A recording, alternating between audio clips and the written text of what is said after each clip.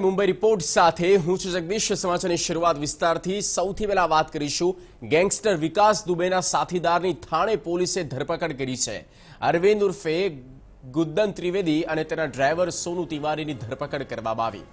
યુપીમાં પોલીસ પર ગોળીબાર કરીને આઠ પોલીસ કર્મીની હત્યાના મામલામાં વિકાસનો સાથીદાર અરવિંદ પણ ફરાર હતો.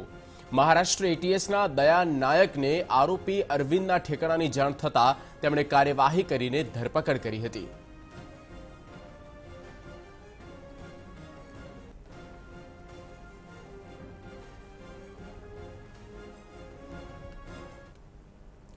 મુંબઈના દહીસરમાં રિપબ્લિક પાર્ટી ઓફ ઇન્ડિયાના કાર્યકર્તાઓએ મહારાષ્ટ્રની સરકાર વિરુદ્ધ પ્રદર્શન કર્યું, જેમાં હાલમાં જ દાદરમાં બાબા સાહેબ આંબેડકર મેમોરિયલમાં થયેલી તોડફોડમાં દોષીઓ પર ઝડપથી કાર્યવાહી કરવાની માંગ કરવામાં આવી. આ ઘટનાની સીબીઆઈ તપાસ કરવાની પણ માંગ કરવામાં આવી હતી. ઓગણીસો સત્તાણુંની અગિયાર જુલાઈના દિવસે દસ ભીમ સૈનિકોની હત્યાનો વિરોધ કરવા અને તેમને શ્રદ્ધાંજલિ આપવાનો કાર્યક્રમ યોજાયો હતો. જેમાં રિપબ્લિક પાર્ટી ઓફ ઇન્ડિયાના મુંબઈમાં અધ્યક્ષે જણાવ્યું હતું કે મહારાષ્ટ્રમાં હાલ દલિતો પર અત્યાચાર વધ્યા છે. જો આ અત્યાચાર બંધ નહીં થાય, તો રિપબ્લિક પાર્ટી ઓફ ઇન્ડિયા મહારાષ્ટ્રમાં ફરી લોકડાઉન કરાવશે.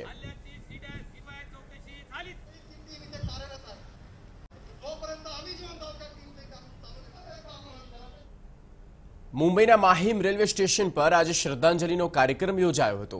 અગિયારમી જુલાઈ બે હજાર છના દિવસે મુંબઈની લોકલ ટ્રેનના થયેલા બોમ્બ બ્લાસ્ટમાં મૃત્યુ પામેલા કુલ એકસો લોકોને શ્રદ્ધાંજલિ આપવા કાર્યક્રમ યોજાયો હતો.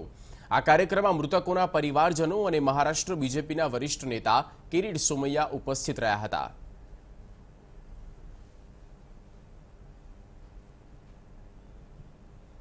મુંબઈમાં અગ્રીમાં જોશુઆ નામની સ્ટેન્ડ અપ કોમેડિયને છત્રપતિ શિવાજી મહારાજ પર વિવાદાસ્પદ ટિપ્પણી કરતા તેનો ભારે વિરોધ થયો હતો.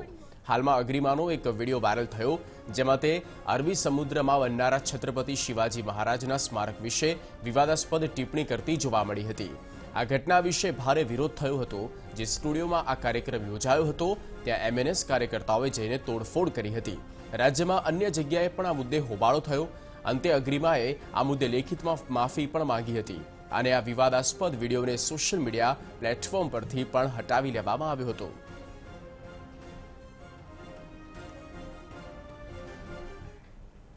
મહારાષ્ટ્રના પુણેમાં તેરમી જુલાઈ મધ્યરાત્રિથી લાગુ કરનાર દસ દિવસના લોકડાઉનનો પુણે વેપારી મહાસંઘે વિરોધ કર્યો છે. તેમની માંગ છે કે મુખ્યપ્રધાન ઉદ્ધવ ઠાકરે એ મુદ્દે ફરી વિચાર કરવો જોઈએ. ગઈકાલે પુણેમાં લોકડાઉનની જાહેરાત થઈ, તેથી આજે પુણેના મહાત્મા ફૂલે શાકભાજી બજારમાં સવારથી જ લોકોની ભારે ભીડ જોવા મળી હતી અને શાકભાજીના ભાવમાં પણ દસથી બાર ટકા વધારે થયાની ફરિયાદ લોકોએ કરી હતી. અનાજ અને કરિયાની દુકાનો બહાર પણ લોકોની ભારે ભીડ જોવા મળી હતી.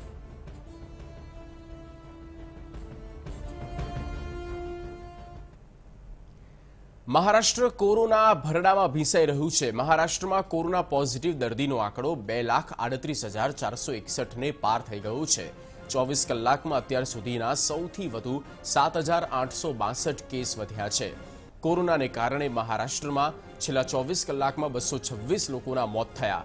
આ સાથે મહારાષ્ટ્રમાં અત્યાર સુધીમાં કોરોનાથી થનાર મોતનો આંકડો નવ હજાર આઠસો ત્રાણું થયું છે.